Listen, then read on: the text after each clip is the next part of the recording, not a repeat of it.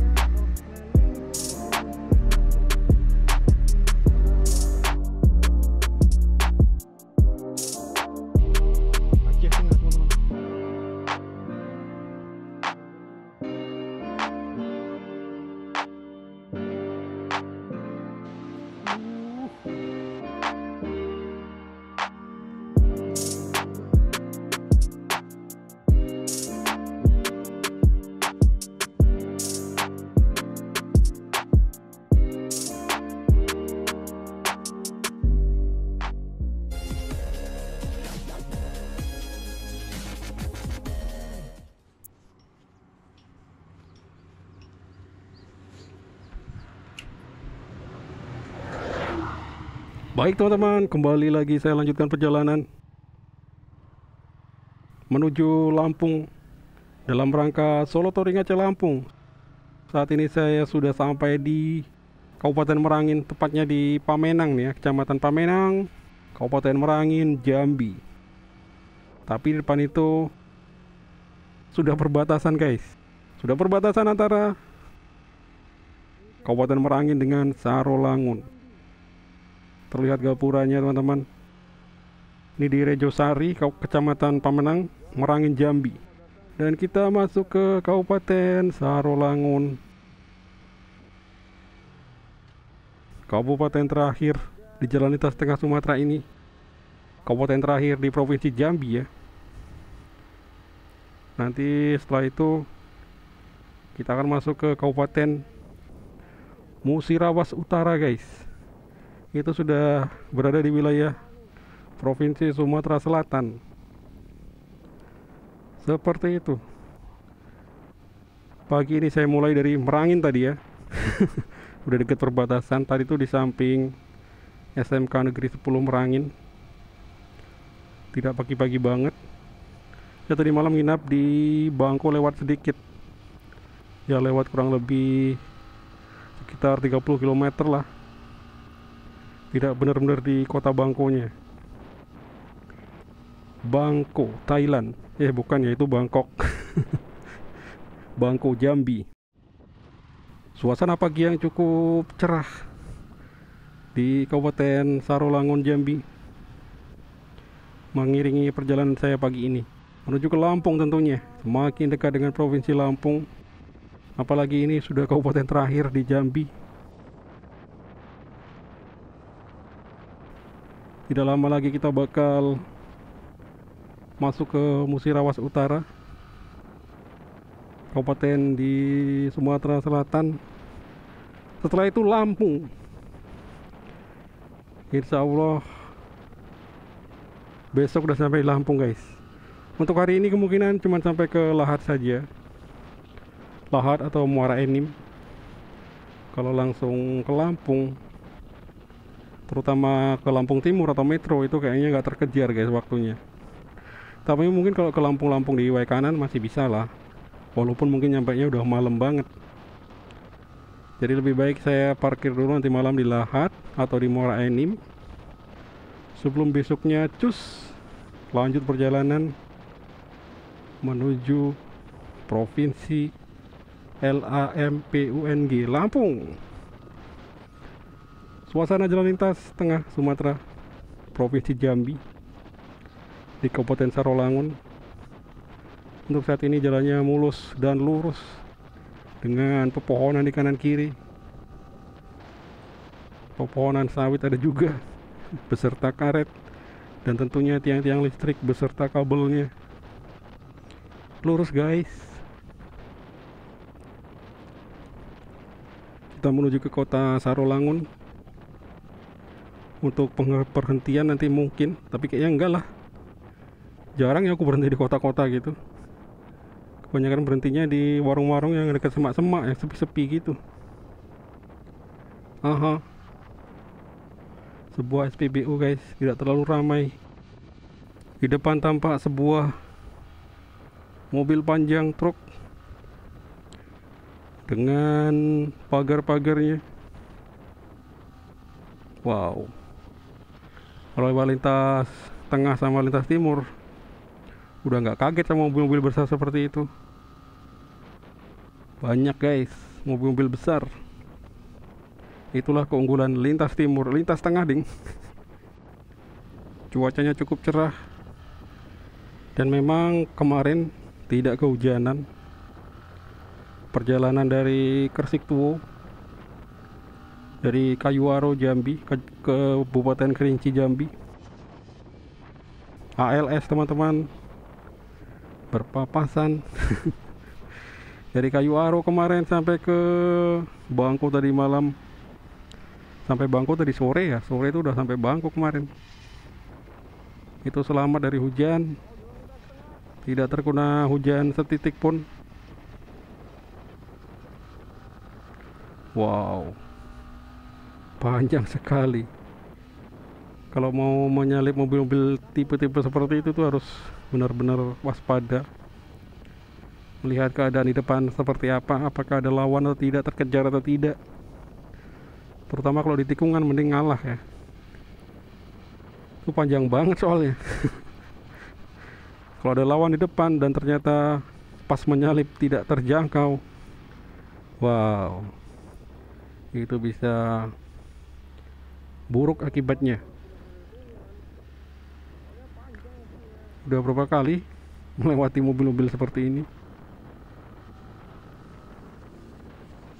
Kayak ada pagar-pagarnya gitu mobilnya. Ada sapi tadi. Mudah-mudahan hari ini juga seperti kemarin tidak kehujanan kemarin benar-benar tidak kehujanan sama sekali mengingat mulai dari Aceh kemarin tiap sore kehujanan. Jadi begitu tidak hujan ya itu kayak sesuatu yang patut dikenang guys. Apaan sih? Tapi memang semenjak di Aceh Tengah itu pas di kota Takengon sore-sore waktu berkunjung ke puncak Patan Terong itu kehujanan teman-teman. Kehujanan SD Sungai Abang atau apa tadi itu. Pokoknya ada abang-abangnya gitulah. Sungai Abang atau Tanah Abang. Kalau Tanah Abang mah di Jakarta ya. Kemudian pas di Gayo Luas pas perjalanan dari Takengon ke Blangkejeren. Juga menjelang sampai Blangkejeren kehujanan deras banget guys. Deras banget terus besoknya waktu ke mana itu? Besoknya dari Blangkejeran ke Sidikalang oh itu tidak kehujanan aman. Cuman mendung-mendung saja tidak sampai yang kehujanan walaupun sempat mendung yang gelap banget di daerah Ketambi Aceh Tenggara itu. Di Taman Nasional Gunung Lauser tapi tidak hujan. Nah baru dari Sidikalang pas ke Tongging sorenya waktu mengunjungi Danau waktu mengunjungi air terjun Piso-Piso itu kehujanan juga. Sampai besok-besoknya waktu menuju ke Porsea kehujanan. Kemudian menuju ke air Kenopan kehujanan juga deras banget di Sigura-gura. Dan oh iya juga waktu ke Pekanbaru tuh nggak sempet oh kehujanan ding sempat kehujanan menjelang kota Duri itu. Walaupun cuma sebentar. Waktu dari Aikenopan ke Pekanbaru kehujanan guys. Ini ada resepsi, resepsi pernikahan sepertinya guys. Selamat menempuh hidup baru lah buat siapa tadi? Tidak sempat terbaca. Selamat menempuh hidup baru. Semoga menjadi keluarga yang sakinah mawadah warohmah lanjut cerita lagi. Pas dari pas besoknya itu kan main sama Bang Ai Motovlog di Kampar Kiri. Dilipat kain ke Tugu Katulistiwa ke benteng eh kok benteng lagi ke gerbong kereta api peninggalan Jepang. Itu di sana juga kehujanan terus besoknya waktu dari Pekanbaru ke Sumbar. Itu kehujanan juga di Arosuka dan dari Sumbar dari Solok tepatnya saya mulai itu dari Lubuk Selasih itu juga kehujanan guys.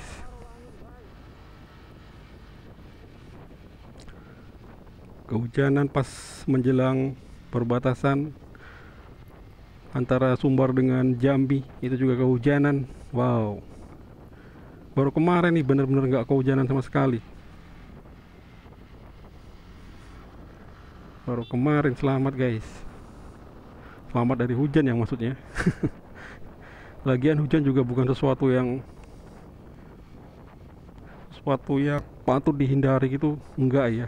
Hujan tuh masih bisa diatasi dengan istirahat berteduh. Atau kalau mau nekat menerobos hujan bisa mengenakan jas hujan. Bukan suatu halangan ya. Buat pertoringan. Kita menuju kota Sarolangun teman-teman. Di Kabupaten Sarolangun Jambi. Kabupaten terakhir di lintas tengah Sumatera. Kabupaten terakhir di Provinsi Jambi ya. Untuk lintas tengah Sumatera. Sebelum nanti kita masuk ke Musirawas Utara. Sumatera Selatan atau Palembang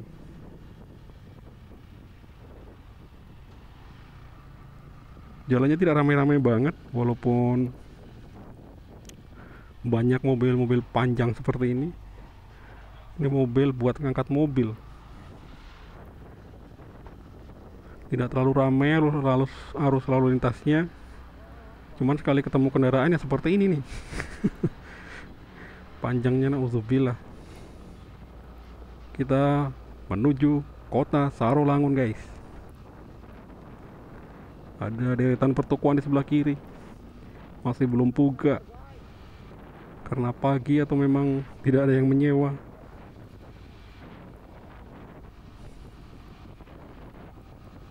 Jalannya lebar teman-teman. Dan sangat mulus.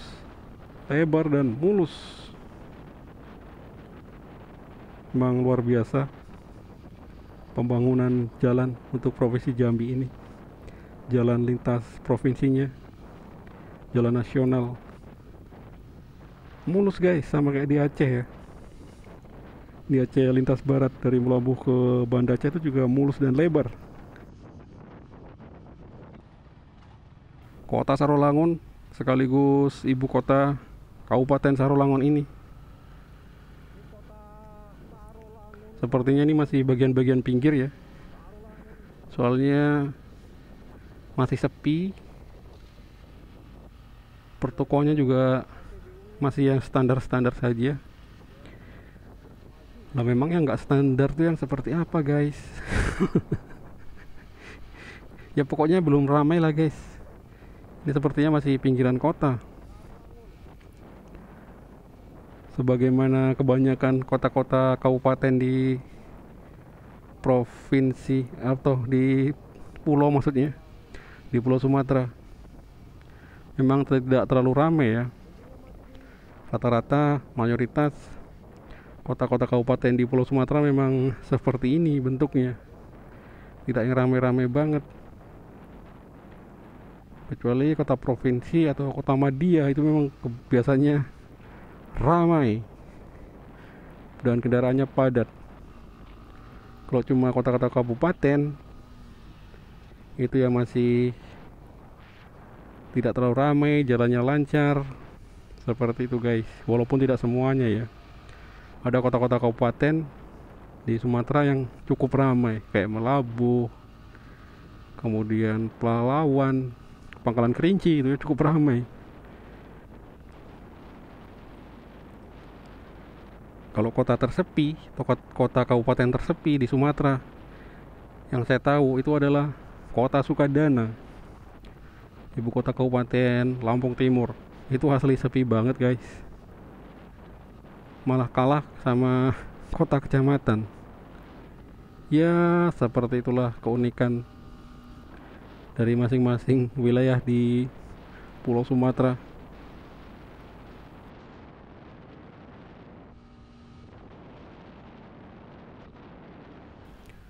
Tadi tidak sempat mengambil gambar untuk yang di kota Sarolangun. Tapi ini kita barusan malah mengabadikan ketika sudah mau keluar kota ya. Itu tadi selama tinggal dari kota Sarolangun guys. Oke ini sudah keluar dari kota Sarolangun. Tapi tentunya masih di kabupaten yang sama Kabupaten Sarolangun. Masih di Provinsi Jambi dan juga masih di jalur tengah Sumatera. Kita menuju ke Sumsel rencananya ke Lahat atau kalau sanggup nanti langsung ke Muara Enim. Sesanggupnya saja. Untuk saat ini jalannya tidak semulus yang tadi. Banyak kekeritingan. Oh ternyata cuma, cuma sebentar saja. Saat ini sudah halus kembali. Sudah halus kembali guys. Oh masih ada bopeng-bopeng sedikit tidak masalah. Jalan lintas tengah Sumatera. Jalinteng berarti ya kalau disingkat. Kalau jalan lintas timur kan Jalin Tim jalan lintas barat Jalin Bar kalau ini Jalinteng jalan lintas tengah. Tapi kayaknya saya jarang banget dengar orang nyebut Jalinteng. Atau mungkin karena kurang populer ya jalan lintas tengah ini memang kalau dibanding-bandingkan di antara kedua ruas jalan tersebut Jalin Tim sama Jalin Bar yang paling terkenal.